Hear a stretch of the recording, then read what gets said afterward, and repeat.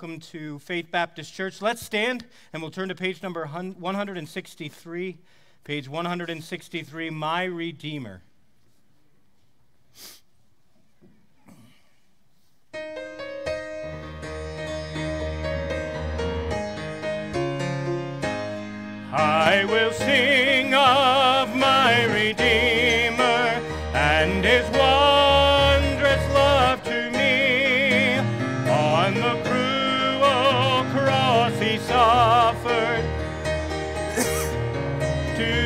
Set me free.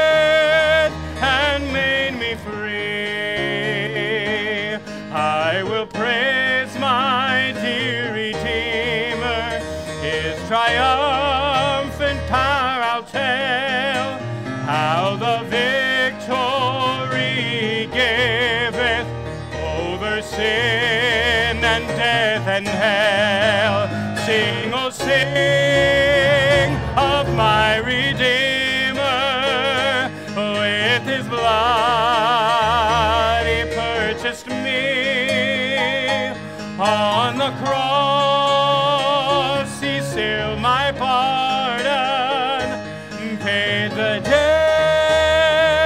and made me free. We're going to sing that last verse with the music. When we get to the chorus, we'll sing that chorus a cappella and sing out on the chorus when we get there. Ready on the fourth. I will sing of my Redeemer and his heavenly love to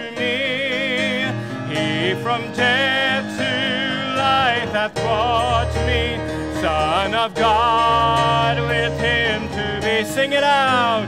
Sing, oh, sing of my Redeemer. With his blood he purchased me. On the cross, he sealed my pardon, paid the debt, and made me free. Page 666, My Jesus, I love thee.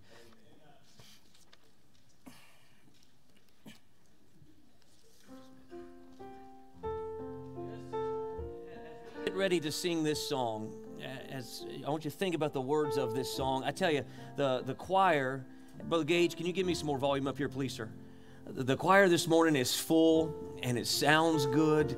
And uh, I, if I'm not careful, I'll, I'll, get caught up in listening to the harmony and listening to you people sing, and I, I won't even think about what we're singing. I'm convinced that more lies are told in church during the song service than any other time. Now think about what we're going to sing here. My Jesus, I love thee. I know thou art mine. I wonder how many people really mean what they're singing when we sing this song. I want you to think about it this morning and sing it from your heart. Um, I think music can be a form of worship, but it's not always a form of worship. This morning, let's worship together as we sing about our Savior. Let's sing about uh, how we love Him. The Bible says we love Him only because He first loved us. Aren't you glad He loved you, gave Himself for you? He's worthy of our love, don't you think? Don't you think? So let's just blend our voices together as one big choir this morning and let's sing, My Jesus, I Love Thee.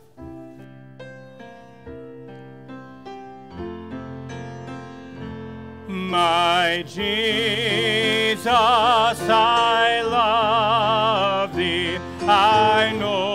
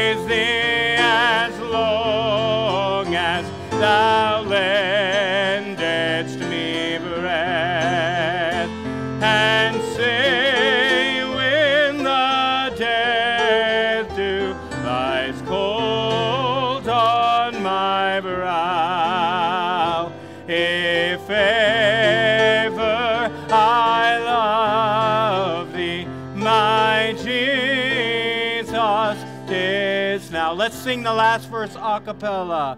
In mansions of glory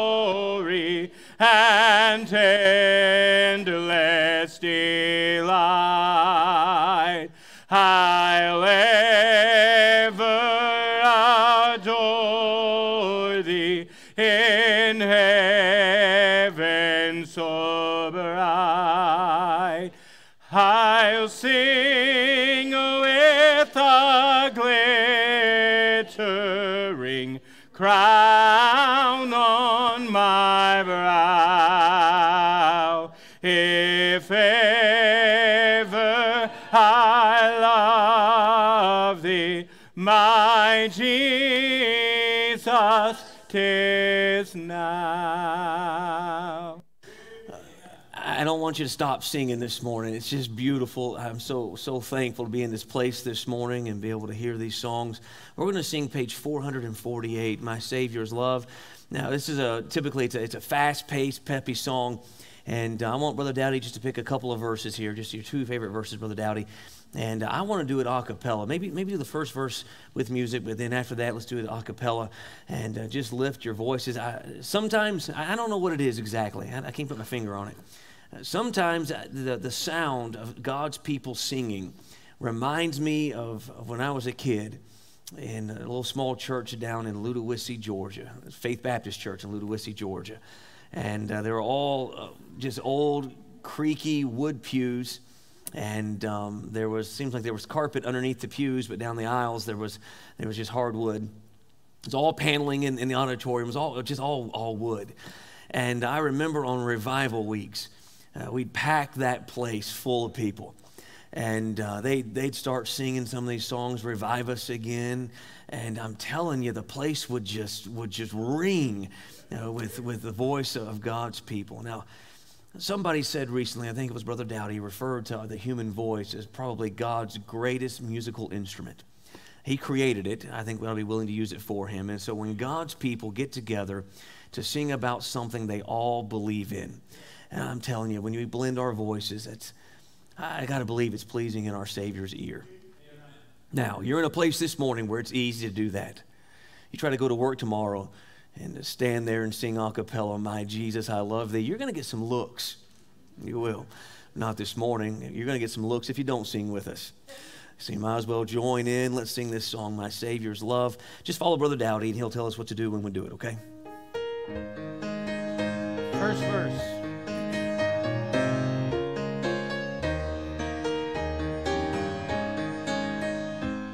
I stand amazed in the presence of Jesus the Nazarene and wonder how he could love me, a sinner condemned unclean. How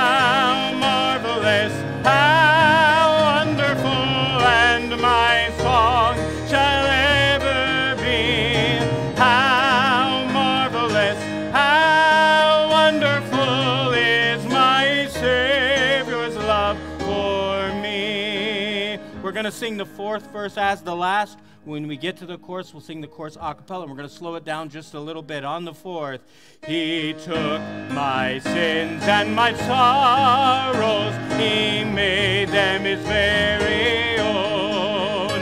He bore the burden to Calvary and suffered and died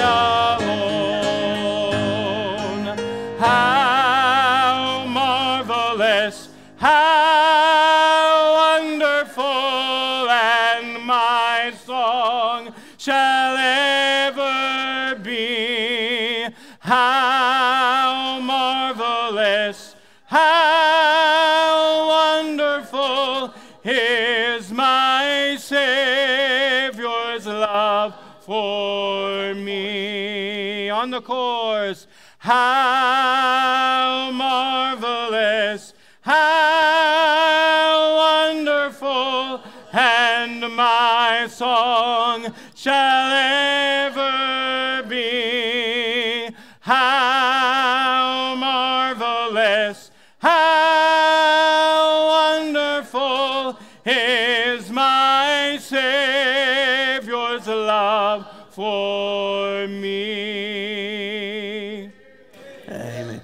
Our Father, we're so thankful for the love that you've bestowed upon us.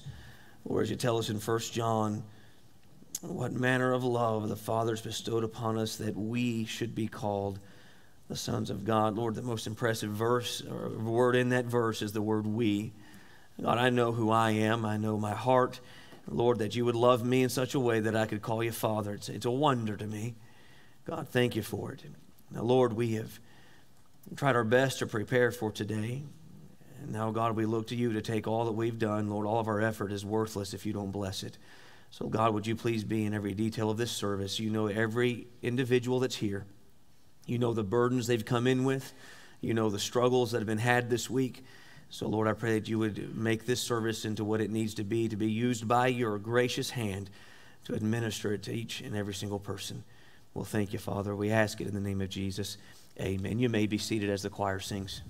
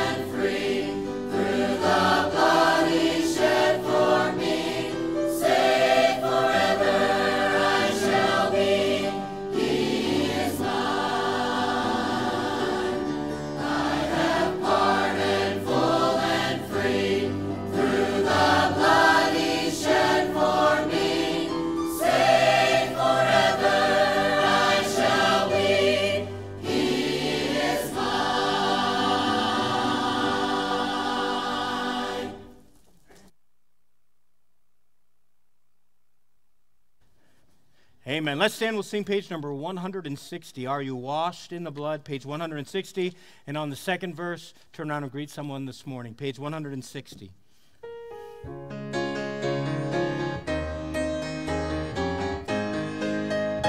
Have you been to Jesus? Washed in the blood of the Lamb. Are you fully trusting in His grace this hour? Are you in the blood of the Lamb? Are you washed in the blood, in the soul cleansing blood of the Lamb?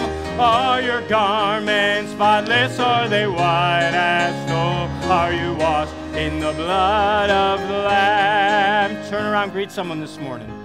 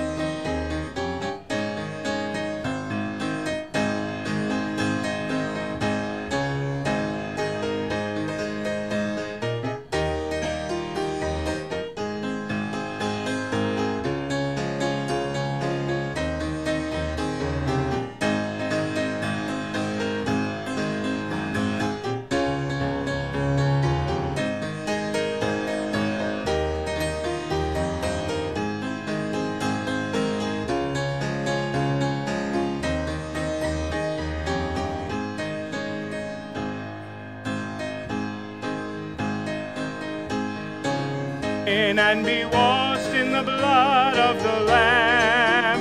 There's a fountain flowing for the soul unclean. Oh, be washed in the blood of the Lamb. Are you washed in the blood, in the soul cleansing blood of the Lamb? Are your garments spotless? Are they white as snow? Are you washed in the blood of the Lamb? All right, you may be seated. This morning, now I have announced for the, for the last several weeks that today we'd be taking up a special offering. The entire offering this morning actually goes towards the, uh, the building here. And we're trying to pay down the debt on this building, and uh, we've made quite a bit of headway over the last couple of years. And uh, we stand right now. This is kind of a people people get all clammy and awkward when you mention money, especially on a Sunday morning. But I don't. But Pastor Story used to say, if the people don't know of the need, they can't meet the need. So here you go. So here's how we're doing it. We're going to take up the offering this morning. Everything that comes in this offering that is not marked faith missions is going to go right to the building. It's going to go right to pay off the, the, the principal of, of the mortgage. Right now, we, we owe about $186,644 as of two days ago. And um, so, so, so we, need, we need about that much, I guess is what I'm saying. And I sure am glad that, that the, you know, the Bible says that our God didn't just make everything, He owns everything. And so, so he's aware of the need, and we're just going to trust him for it. And so you give this morning knowing exactly where it's going. I hope you've prayed about it.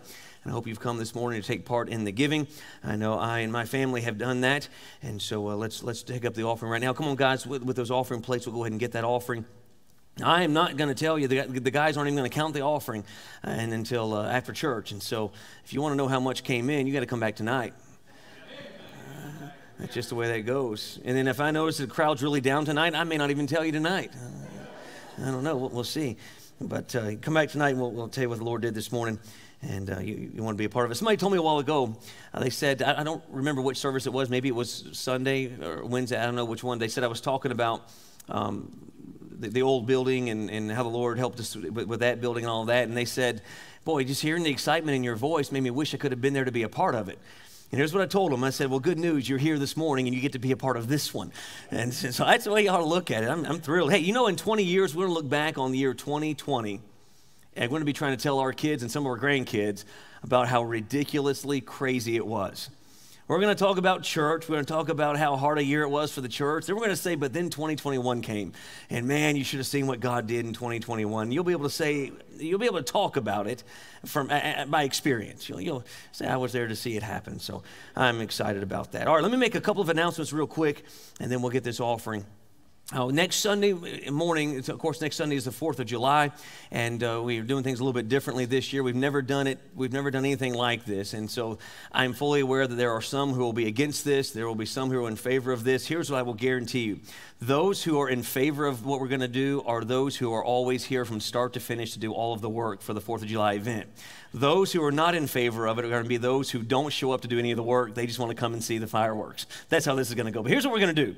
Next Sunday morning, there will be no 10 o'clock hour. Uh, there'll be no 10 o'clock classes downstairs. There'll just be one service. It'll be up here in the auditorium, and it will start at 11 o'clock, just like we normally do, okay? So morning service only at 11 o'clock up here. We'll have our service, and then there'll be a meal prepared downstairs, and uh, I believe it's going to be pulled pork, or I think that's what Brother Jerry told me. And so there'll be a big meal downstairs and um, the rest of the day is we're just going to spend some time fellowshipping with each other. We're going to spend some time with our families. We've got all kinds of games set up outside for, for the kids next week. We got several inflatables that'll be set up outside. There's going to be volleyball, of course, basketball, cornhole, all kinds of games. We got giant checkers, all of those things uh, going on outside, Lord willing, weather permitting. And in addition to that, we're also going to have a disc golf course set up outside. And so bring your disc or frisbees if you're a redneck hick like me. They're still frisbees. Bring your frisbees. You can play with us. And uh, we're also going to have an archery range set up, an archery tournament. So if you bow hunt, or maybe you don't bow hunt, you just know how to really fling an arrow good, you can you can join us in that tournament if you want. Bring your bows with you, and we'll have it all set up safe. Now here's what I'm asking. I'll announce this again next week, but in case you're not in the auditorium next week when I announce it. Don't get your bow out until it's time. I don't. We don't want to have any of those. Um, we just don't want to have any incidents. We'll just go, go with that. There'll be people playing things everywhere. We want to make sure that we stay safe, and we'll have the course set up in, in a safe way. In addition to those things, we're also going to have, and I'm personally excited about this, we're also going to be having a baking competition. I don't think we've ever done that here, but here's what I know for sure from personal experience, and my belly will tell you we have got some phenomenal cooks in our church. And I'm excited to, to see, and I am I don't care else, who else joins me, uh, probably Brother Dowdy, but I refuse to give up my position as a judge. I will, I will be in the, the judging lineup. And so uh, we're going to have a dessert, a dessert competition. So make your best cake, pies, cookies, brownies, whatever it is you make the best of. Don't go to the store and get Betty Crocker and open the box. Don't do that. Let's get, let's get really, really good about this. Now, some of you older ladies, you got to help me out here. You guys are the best cooks in the whole church, and so bring the best thing you've got. And although I will say Desiree Lamar makes a mean no bake peanut butter cookie. So, um, in fact, we may just go ahead and declare the winner now. I, we, we, could, I guess. Um, so anyway, anyway, that'll be going on in the building. We got some other stuff planned as well. But all day long, we'll be doing stuff outside together. And uh, then about 3:30 or so, we're going to meet back in the auditorium, and uh, we're going to have a lot of music. We're going to have some special, some some special song. We got some folks from another church. My brother-in-law Daniel, uh, he's a pastor down in in uh, Romulus and he's pastor of Hope Baptist Church. They'll be coming out here to be with us there in that service, and they're probably going to take part in some of the music. And then, in addition to the special music, I want it to kind of be like a hymn sing. And uh, so what, I, what I've got here, and we don't, normally we just say, bring up your requests, we'll try to sing them. These two, these two sign-up sheets are identical. Don't think you got to find one or the other. They're identical. Uh, they'll both be back there in the foyer after the service. Brother Jerry, help me remember to get those back there. And uh, you can request a hymn that you haven't heard sung in a while, or maybe it's just your favorite hymn. You can write that down on there. If you have someone in the church that sings a special that means something to you, or you're somebody who you want to hear sing, write that down on there. And we'll try to put together as many of those requests as we possibly possibly can, and uh, we'll, it'll, be a, it'll be a good time of fellowship. One thing about Faith Baptist Church of Chelsea is we like good, godly music. It does something for us. I don't ever want to underestimate the value of music. Get in your Bible, from the beginning to the end, you find music. In the book of Genesis, you find people singing. In the book of Job, you find that the Bible talks about singing. All the way to the book of Revelation. Guess what? In heaven, in heaven, we're all going to be singing. And I, I say we just get a good jump on it on this side, right? So, anyway, next Sunday is going to be a big day. We want you to come and be a part of it. And uh, we're not uh, canvassing neighborhoods, giving out invitations. That's not, not, not doing that this year. But uh, we are inviting you, and I want you to invite anybody that you want to come with you. If you want to get them to, to come and, and enjoy some, some, some time around the church, but also some preaching, and then I would encourage you invite your friends, your family. Many times people will come to something like that, and when they won't come to a regular church service. So, don't miss an opportunity to invite that coworker or whoever it might be that you'd like to see come to church. All right? All in favor say amen. amen. All right. I'm not asking if you're opposed because that'd probably just make me mad this morning. All right. All right. Let's bow our heads. Someone just said my name. Miss Bonnie. No. Miss Deanhofer. No. Miss Elaine. We're getting there. If you want to sit outside, you'll need lawn chairs. We will have some tables and stuff set outside. We'll have stuff inside as well, um, but we'll have some stuff outside. But if you want a comfortable chair, then bring your lawn chair. And also, um, I was supposed to announce that we need desserts as well, not just for the competition, but we just need lots and lots of desserts. Um, if everything else goes wrong on that day, a bunch of desserts will make it all better, I promise, okay? So let's bring lots of desserts. Brother Jerry, do you need them to sign up or camp count or anything? No? Okay. Just bring your desserts. And if you have questions about anything I've just said about food, Brother Jerry is the go to man on this. So you talk to him or more than likely Miss Leslie, and uh, they will give you the information you need. Okay? All right, let's bow our heads. Our God, we uh, come to this part of the service, and Lord, I, I have, uh, Lord, I've talked to you many times about it already. Lord, more than an amount, God, I just want you to get glory. God, it's not about any one person, or it's not about any group of people. It's about you and you being glorified. And so, Lord, I pray that you would take this offering. And God, would you please do with it that which would give you the most glory, that would exalt you the highest. And Father, we're going to thank you right now for what you're going to do for. We ask all of these things in Jesus' name. Amen.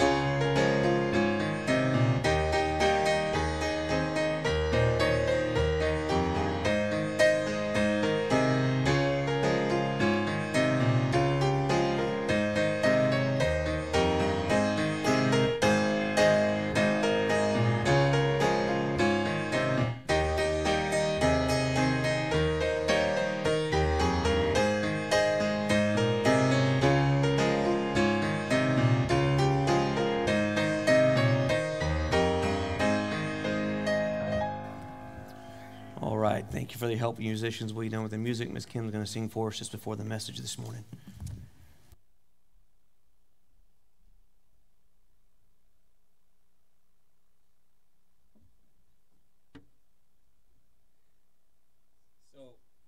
so Kim's got a son named Jace. Is that his name? Jace.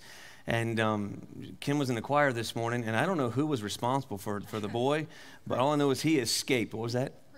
Grandpa Steve, with a Lynn, was responsible. He escaped at some point, and um, the choir was coming down. He came up here on the platform, was looking right at me, holding a blue hippopotamus. And I didn't know who he was. I didn't recognize him. And uh, I was like, uh, uh, I said, What's your name? And he told me. And I said, What's his name? Pointed the hippo. Pi? Is that his, his name is Pi. Okay. Don't know why, but his name was Pi. And I could tell he was not interested in talking to me. He was talking, looking for his mom, and I think he was expecting her to come down. But after it's all said and done, Brother Dowdy looked at me and he's like, "That's one of the mom's worst fears to look up and see your child on the platform and not know why."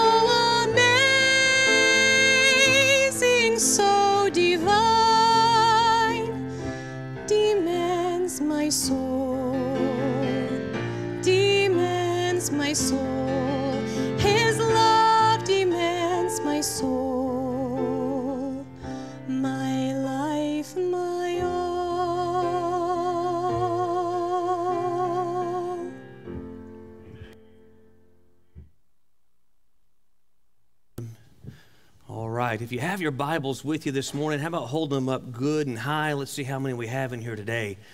That's uh, great. I hope you brought your Bible with you to church. You can put them down. Someone told me one time, I don't do that all the time, but someone told me one time when I did that, I said, it made me feel like we're in junior church again. Uh, well, that's all right, I think. Brother Dowdy asked me to remind everybody that's going to camp. What time are y'all leaving, Brother Dowdy? Is he in here? Miss Dowdy, do you have any idea? Nine, leaving the church at nine. So I think he said there's 24 people going to camp and leaving tomorrow at 9 o'clock. All of you that are going, and some of them are downstairs this morning, so you parents that are listening, if you have a kid going to camp in the morning, Brother Dowdy needs to meet with everybody one more time to go over last minute details. You know, meet with you right over here as soon as the service is over. So make sure you run up there and be a part of that meeting and so you know what's going on. My kids are so excited about, uh, about camp, and um, not for the reason that you might think they are. Um, we have just begun moving back into our house.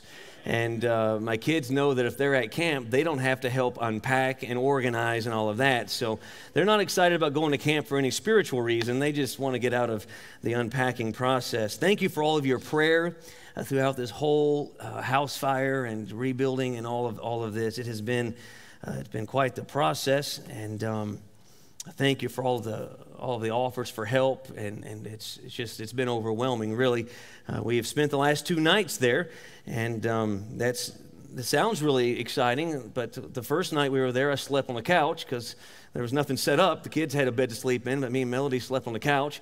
And um, last night we got got back in our bed. That was that was nice. And uh, but there is, you know, if you've ever moved, you know the you know, the chaos that ensues. Most of you have never experienced what it's like to move with 10 people in the house. And um, that's a whole other element. But um, thank you for, for all the prayers. And uh, we're getting close to back to normal. I have, it has occupied so much of my time in the last, really the last month has just been, I've been around the church so little and I've apologized to Brother Jerry over and over again. I called him last week and I said, look, I know I know the way it looks, but just so you know, I've not forgotten that I'm a pastor. I haven't forgotten that. But if I, we were at a certain point that if the way the restoration was going with the insurance company, if I didn't just start doing things, we would, it would never get done. And so I just had to take time off and go, go get stuff done. And um, so thank you for all of your patience, all of your prayer.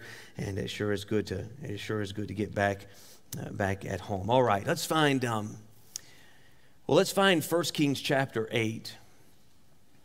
I want to grab a thought from 1 Kings 8. Then we'll pray. And we're going to run some references. And then, if the Lord will help me, I'd like to finish this morning back in 1 Kings chapter 8.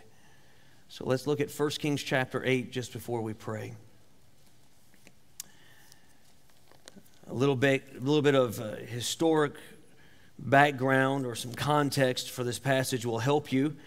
Um, I don't know what, what edition, what kind of Bible. I hope it's a King James Bible you have, but I don't know who the publisher is.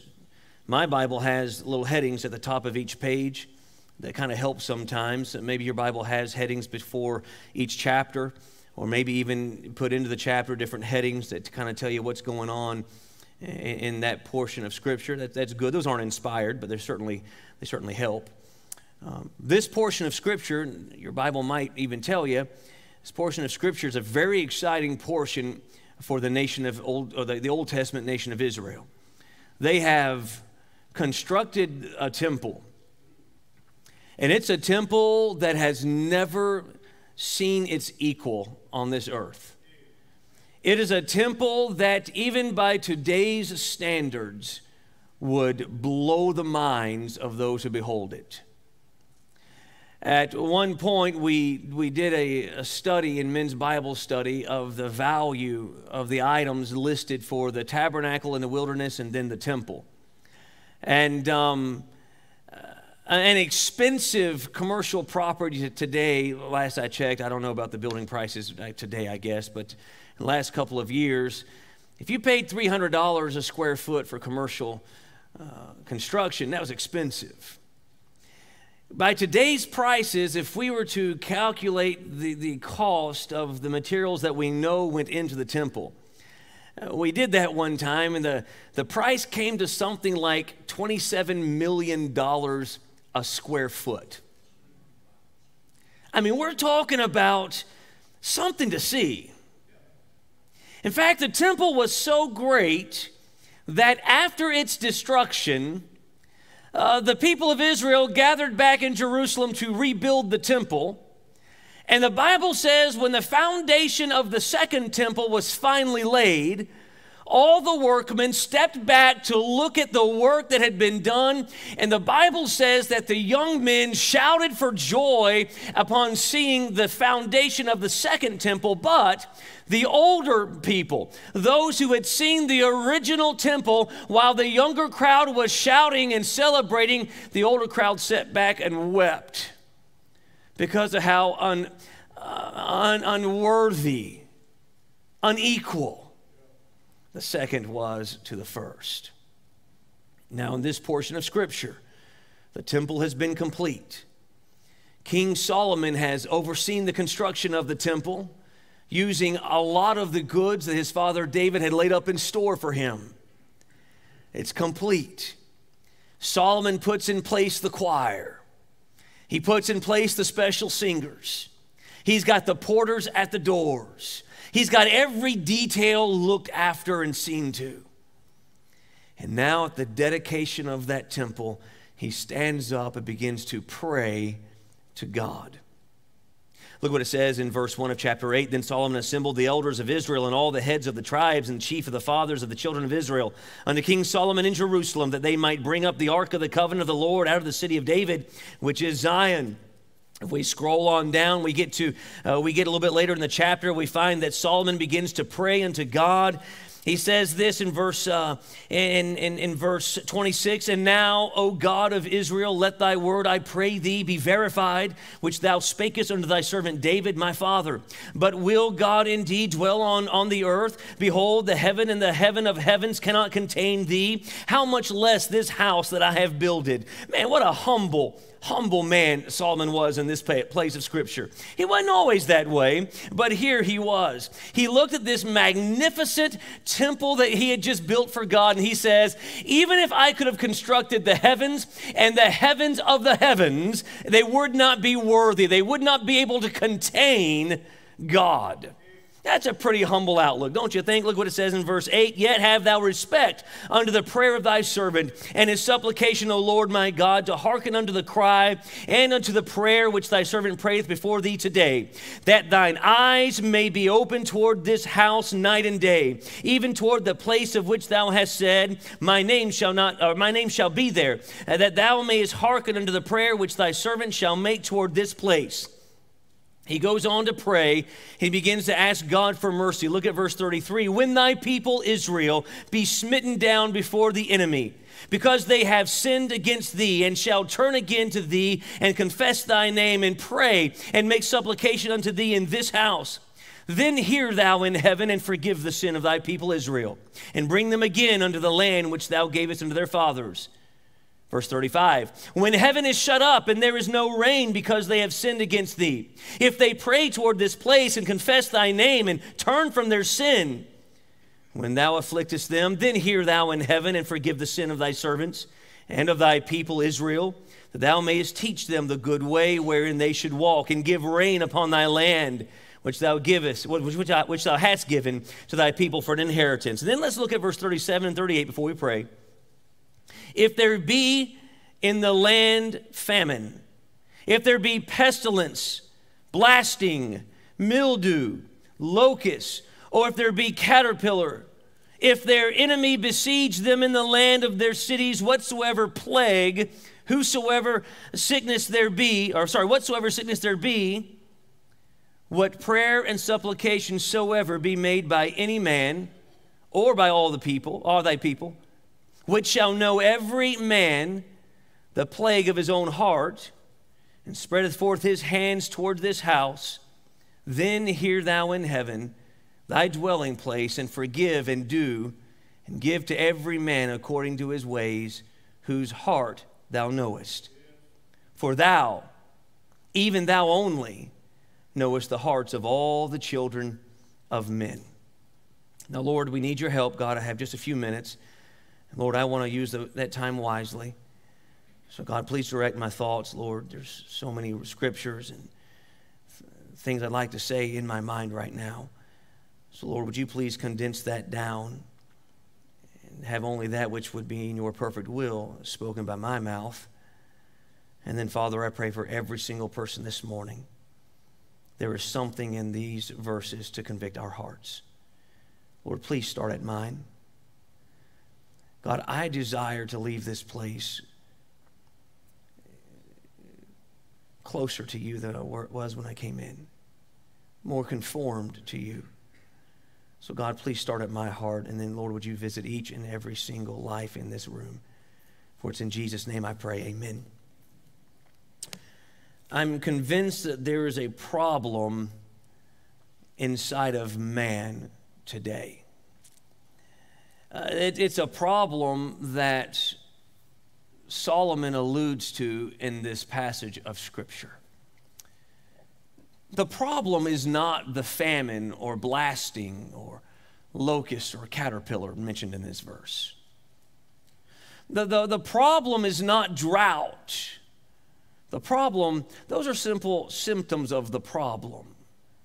Solomon says here in verse 38, he points out the problem. He says, though those things might afflict, afflict our entire land, he says, God, there may come a time when every man will bow his head, and look how he describes what takes place in the prayer. He says in verse 38, he says, which shall know every man the plague of his own heart, and spread forth his hands toward his house. Now, I'm interested in a couple of words there in that verse. The first, ver- the first word, rather, is plague. Many times we think of the word plague as an illness. I've heard people describe uh, COVID 19 as a plague. They've compared it to uh, the, the, the black plague, and they've compared it to all these different illnesses. Uh, that would, according to the Bible, that might fit into the definition of the word plague, but the word, uh, defi- uh, the word plague, rather, is used in a much more broad sense than just illness. If you'll notice there in verses 37 and 38, Solomon mentions a whole bunch of things and then sums it all up with the word plague. In fact, if you were to jump back into the uh, first five books of your Bible, you'll find that there were times when a plague was experienced by Israel. And it wasn't Ebola, it wasn't the cold, it was uh, something sent by God that would, uh, that, that would punish the people. There were people dying all over the place. So a plague is just simply the byproduct of something. Well, what is it? Well, Solomon says, Lord, there'll come a time when the corruptness, the, the wickedness of this nation will bring forth plagues upon the people. But God, when these people come to you as a whole or as individuals and they recognize the plague of their own heart, I think Solomon defined the human condition so perfectly in that phrase the plague of the heart. Now, we hold our children and they're so precious, they're so sweet. Uh, uh, my, my youngest is five going on six, and I never, I never thought I'd, I'd be a, kid person. Uh, that's just not, when I was a teenager, I didn't say, oh, I just want a bunch of babies. But I'm, I'm, I'm turning 40 in a couple of weeks. And every time I'm around a baby, now the, the Ramirez little one, oh, at missions work week, I couldn't, I couldn't do it because I would be thought of as a creep, but I wanted to go up and say, Can I hold your baby? I just, uh, you, you know what I'm talking. If you're if you're like me, you know what I mean. We hold those children; they're precious. I love it when they fall asleep on me. Now, look, I'm not some kind of weirdo, but listen to me. How many of you use cloth diapers on your children? Raise your hands. Yeah, okay. So there's a few of you with me. There is nothing more precious to me than when Melody would get one of our children. Listen, we didn't use cloth diapers. I don't even know why we had cloth diapers, but there were times where uh, she would give the children a bath, and the smell of Johnson's and Johnson Johnson what's it called? Johnson and Johnson baby wash. That on a soft baby wearing nothing but a diaper when it first gets out of the bath, she would bring them to me and just give them to me. I love that. We don't like to think about what those little children can grow up into, though, do we? I've got a 16 year old. I will tell you, the boy's got a plague of his heart. And it's not just him, it's part of a human being. As cute as those babies are when they're little, there's something inside of them that one day it's going to come out. Solomon, in dedicating the temple, I think it's very interesting. I don't know if you caught it or not. He's building this temple as a house for God. But while he's dedicating the temple, did you catch what he says? He says, Will you, will you hear the prayer in heaven where you dwell? Solomon acknowledged that it was just a building. God didn't need a place to dwell, He already had that. But while He's dedicating that, that temple, He tells God, Remember that these people are just humans. And in our wickedness and in our sin, God, if there's ever a time where these people find a little space for repentance, recognizing the plague of their heart, Lord, please hear their prayer. Now, find uh, Proverbs chapter 4. Hold your place there in, in, in 1 Kings. We'll come back there in, in a second. Find Proverbs chapter 4. We need to stop and think about this heart for a little while. Proverbs chapter 4.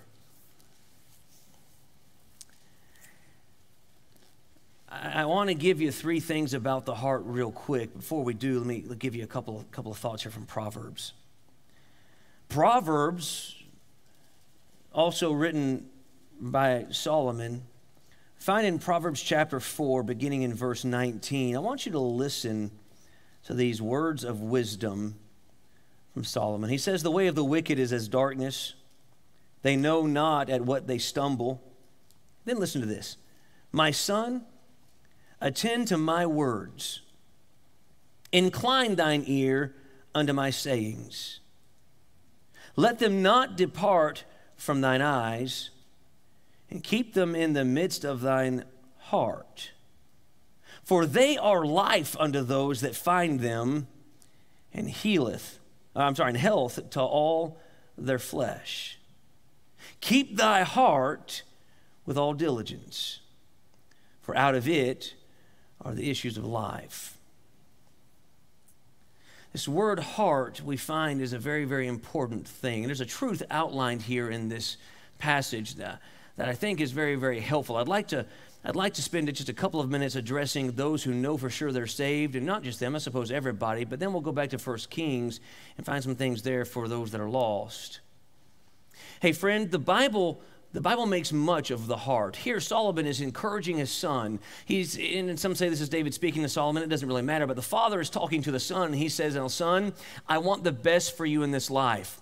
And so he says, he, what he doesn't say is, "I'm going to give you money to help you in this life." He doesn't say that. He doesn't say, Now I'm going to build you a house and make a home for you, and that'll help you in this life. That's not what he says. In fact, he's, he's emphasizing and pointing only to those teachings, those words of wisdom being imparted from a father to a son. So he says, First of all, attend unto my sayings. He says this there in, uh, in verse. Um, Verse 20 says, My son, attend to my words, incline thine ear unto my sayings. I, I, listen, I remember my dad, my mom saying, Son, listen to me. So, are, do you understand what I'm saying? And usually it was said in that tone and because I wasn't listening to what they were saying. But now I have children and I say the same thing. I'm like, listen to me, pay attention to what I'm saying.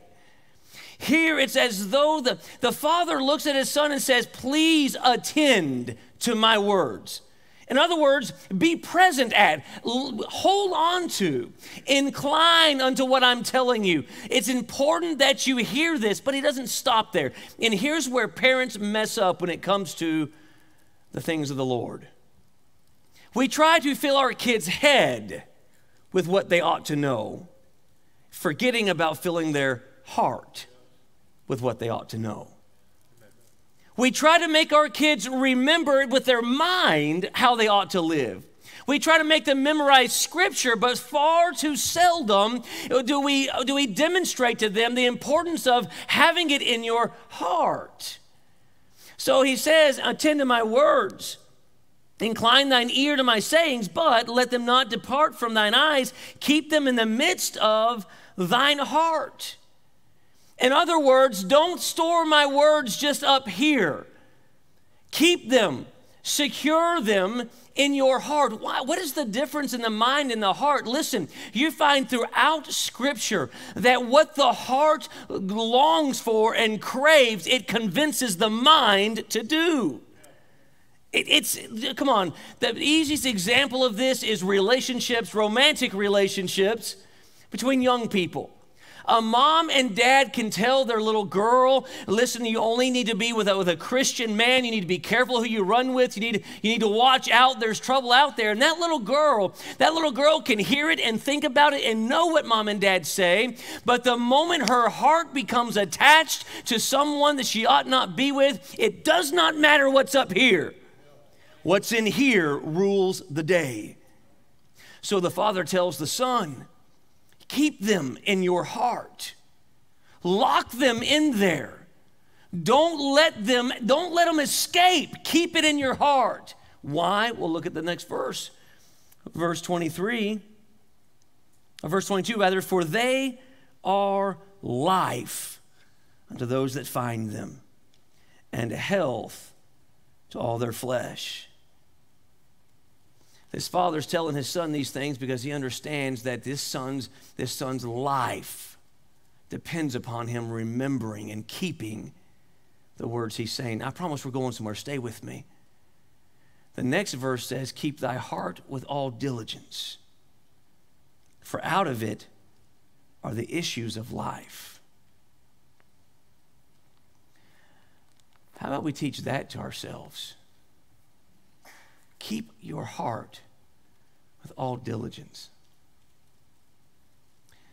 I, I, we say, I love you with all my heart. We refer to the uh, love as being from the heart, and I think that's a, I think that's a fair statement. I think it's accurate. I think it's beneficial sometimes to consider the words of the songs we sing. We sang songs this morning about love. My Jesus, I love thee. I don't know if you noticed or not, but a couple of times in that song, the words are written and we sing them, but did you notice that it's not about a feeling that naturally comes from the heart, but it's about a decision that's made? I'll love thee in life, I'll love thee in death. You sang it. Those words don't mean that you're going to naturally love him. It's a decision that you have to make. Why else would God tell husbands in Ephesians 5 to love their wives? If it just happened naturally, why would we need to be told to do it? God knows our heart. And if we leave it up to our heart to decide how we feel about something, oh, you've got trouble. You've got trouble. The Bible says, keep your heart with all diligence, for out of it are the issues of life. I wrote down just a few things the Bible says about the heart.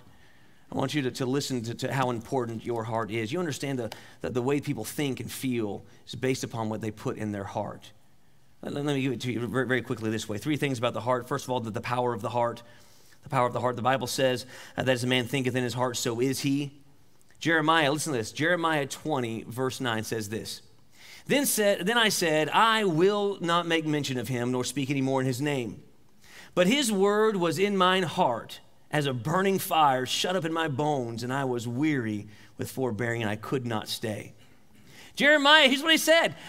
Jeremiah was pouting in this portion of scripture. Jeremiah sat down, and after all these chapters that we read about Jeremiah, the suffering and the mockery and the rejection, Jeremiah sits down and says, I'm done. God, I'm done speaking for you. Don't ask me to do anything else. I'm finished. I quit. God said, Really?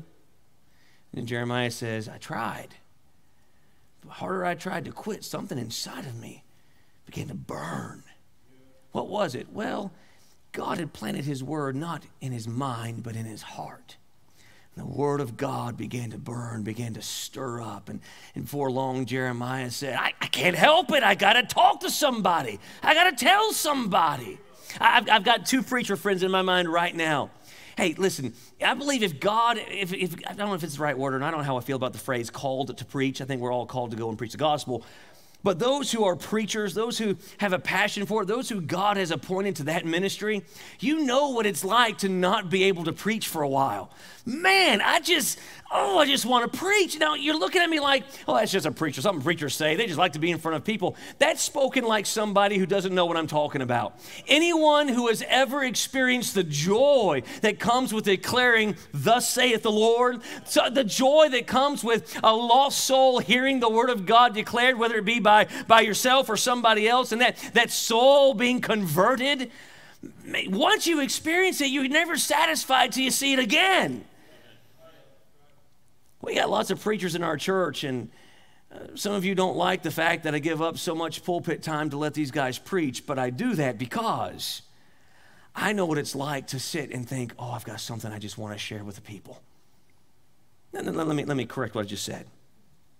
Everything you want to say to the people does not need to be said to the people. Don't come to me, don't raise your hand and say, there's just something I want to say. Well, that's not how that works.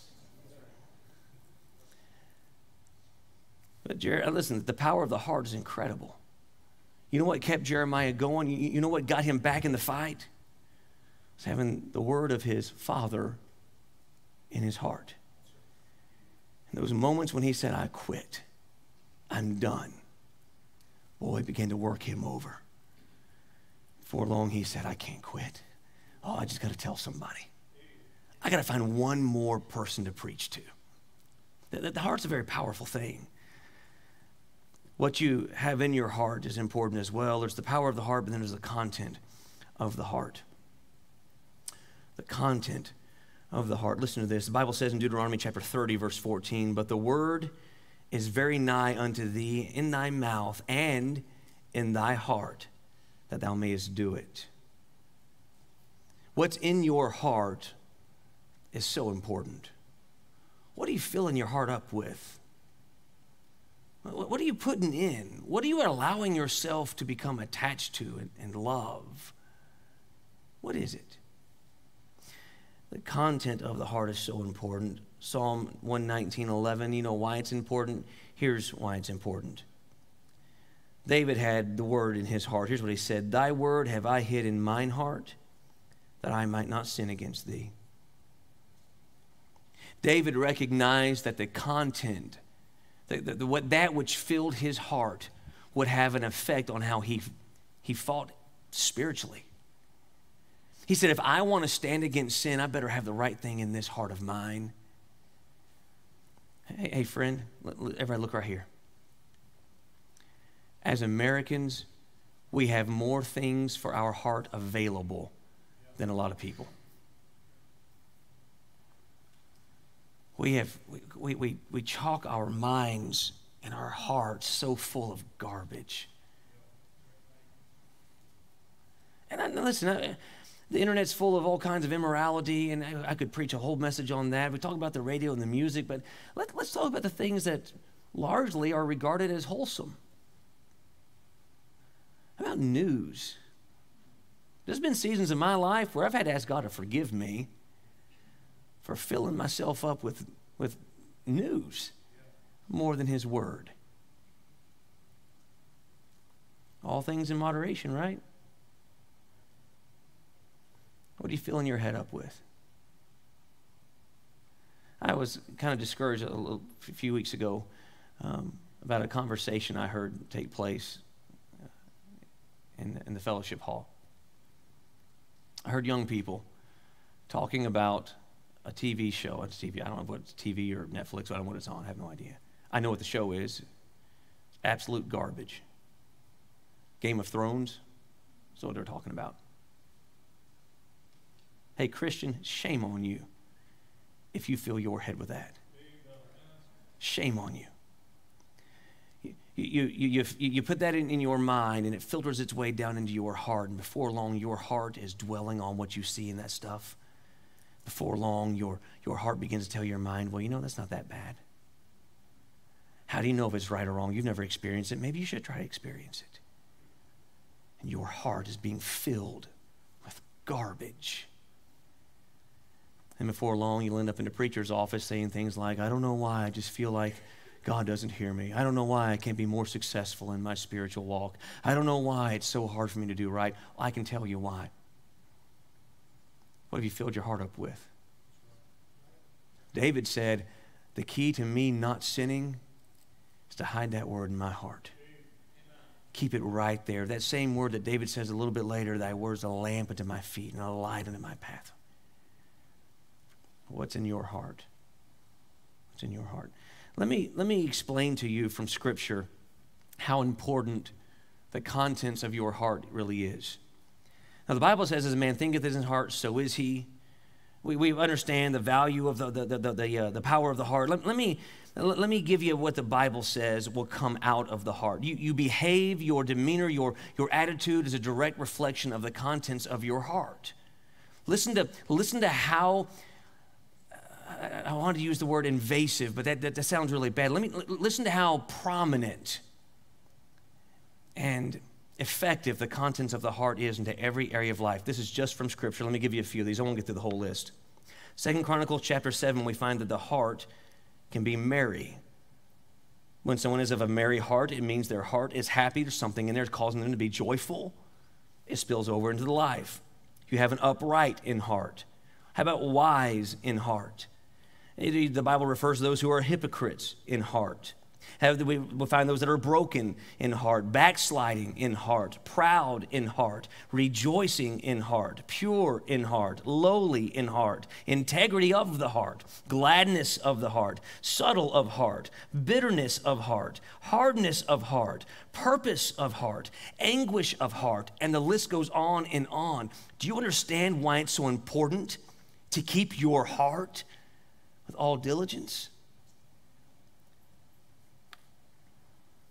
watch violence and garbage on TV all day long and wondering why we're raising a generation of angry, lawless young people. Remember when peaceful pro- protest used to mean walking down the street holding a sign? Remember that? Those days are gone. Those days are gone. What's happened? Someone's put something into the hearts of our children It's causing some horrible, horrible effects. We see the value of the heart, we see the power of the heart, the content of the heart. Now go back to 1 Kings very quickly.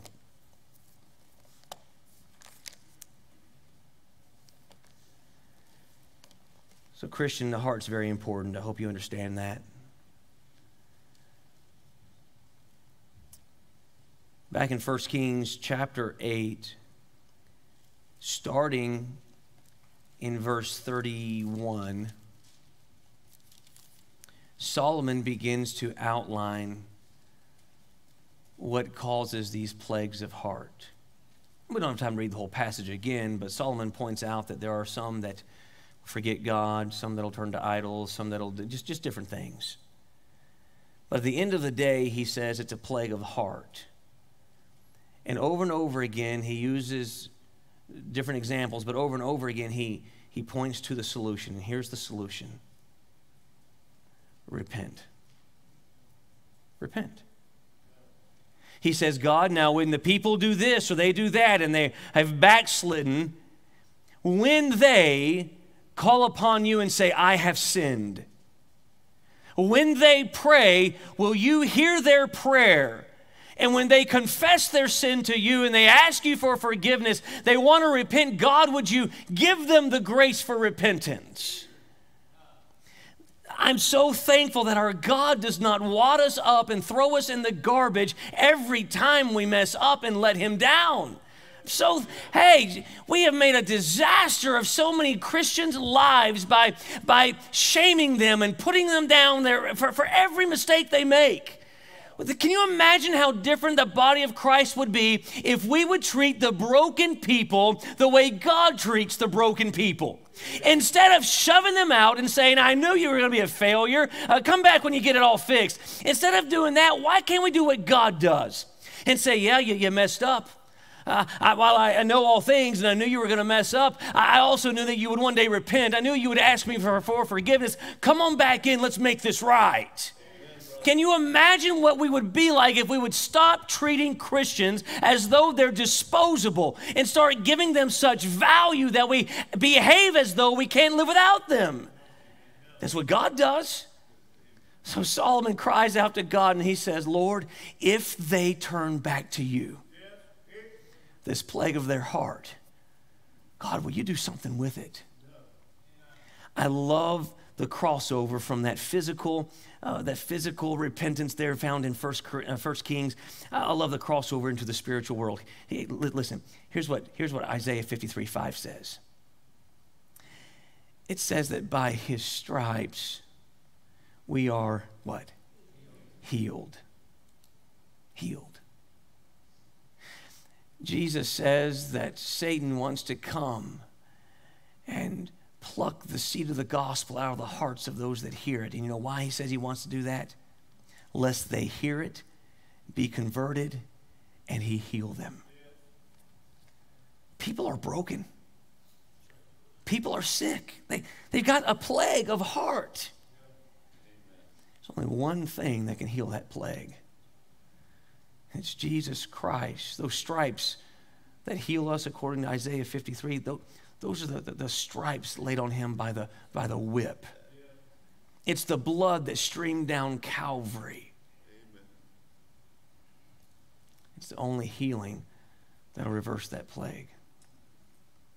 People are trying to heal that plague on their own, only to meet with eternal and disastrous results. I remember the day that I had that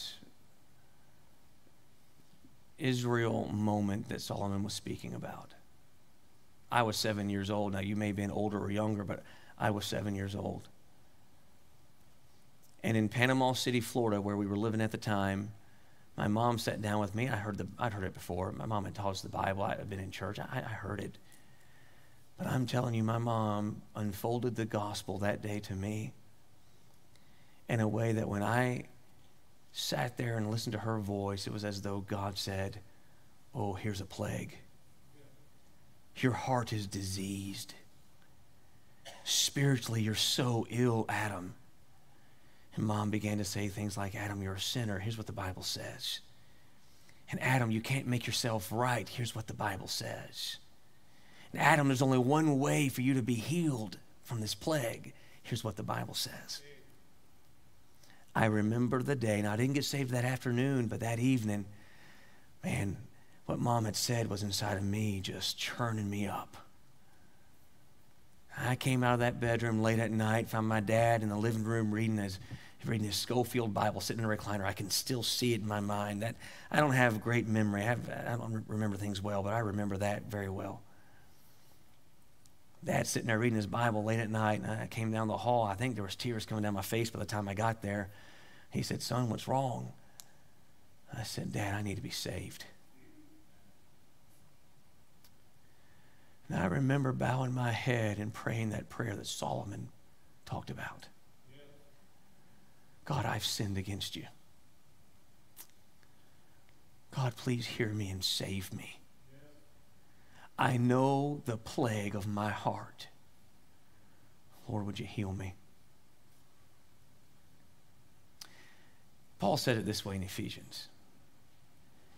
He says that when we were dead in trespasses and sins, and here's what he says You hath he quickened who were dead. You know, you know what I was? I was dead. That plague had killed me. Paul said in the book of Romans that the law slew me. I was dead. But one day I rested only in the stripes on the back of my Savior, and I found complete healing. He healed me. He healed me. Now, friend, you can close your Bibles as we're done, but please listen to what I say. You're here this morning, and no doubt in a crowd this size, there are people who know for sure they're saved. And if you do, I'm, I'm glad you do. There are people who, no doubt, in a crowd this size, don't know for sure they're saved. Eh, eh, there's people who, no doubt, know for sure they're not saved. Here's what I know for sure all have sinned and come short of the glory of God. That's every single one of us. That's the plague of our heart. But here's what the Bible says it says, with the heart, man believes unto righteousness. It's, it's with the heart. And then with the mouth, confession is made unto salvation. Wouldn't it be awful to close your eyes in death on the earth, only to open them in eternal death after this life. That's what the Bible says. It says, The wages of your sin is death, but the gift of God is eternal life. Would you please stand to your feet and bow your heads and close your eyes?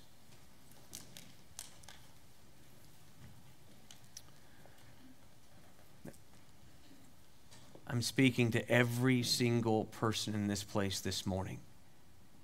I'm speaking to you while we're standing in a crowd and I'm looking at everybody as a whole. I want you to think of what I'm saying as being spoken to you personally. With your heads bowed and your eyes closed this morning. What are you doing about the plague of your heart? The plague of your heart. You can try to heal yourself through good works. You can try to be a good neighbor and a good father or husband, whatever it might be. That's just trying to heal yourself, and you can't heal yourself. There's only one cure for the plague of your heart, and that is Jesus Christ. Now, I was seven years old when I turned to Him for my healing.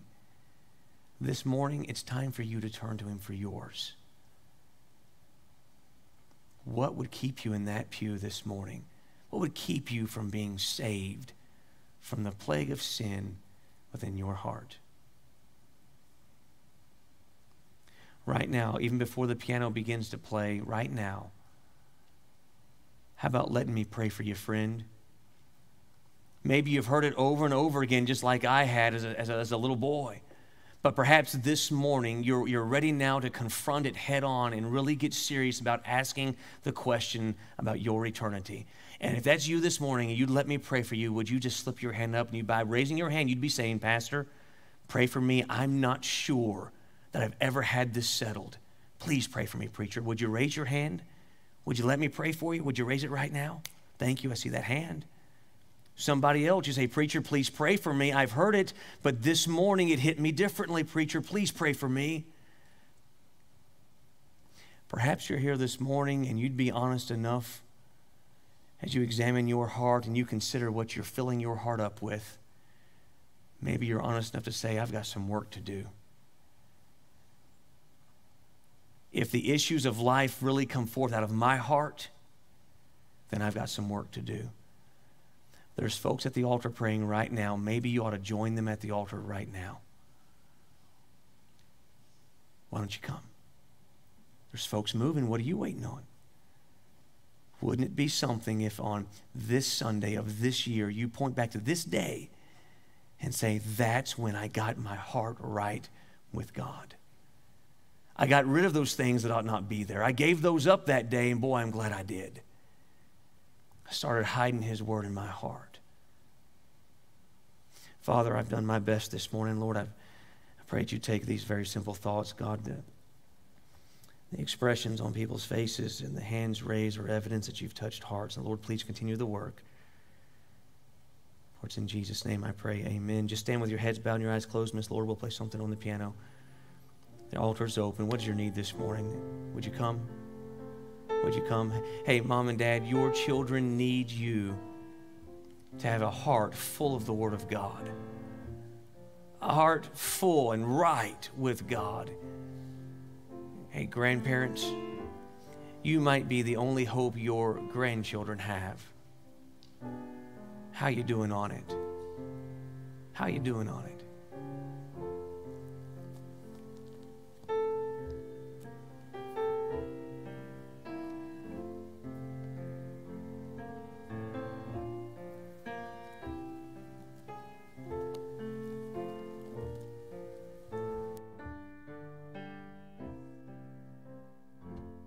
Page 57 in your hymn book is Cleanse Me. Let's sing that together. Page 57. Brother Dowdy's going to lead us in a verse or two. Don't let the hymn book in your hand keep you in your pew. If you need to come, you come as we sing on the first, page 57. Search me, O God,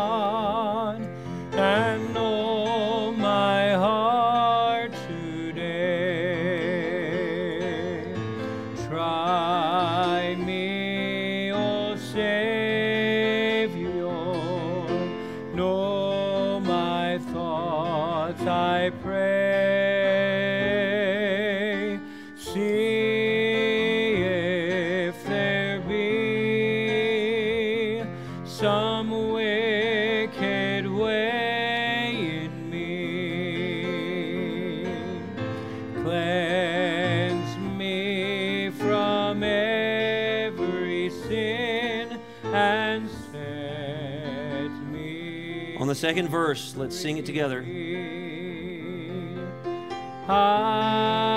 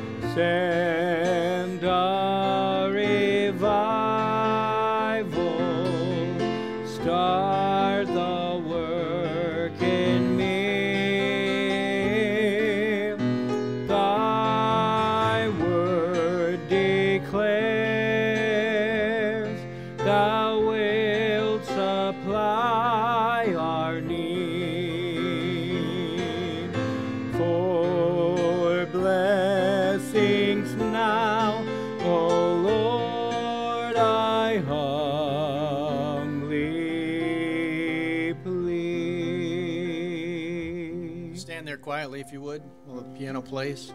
Some still dealing with the Lord here at the altar.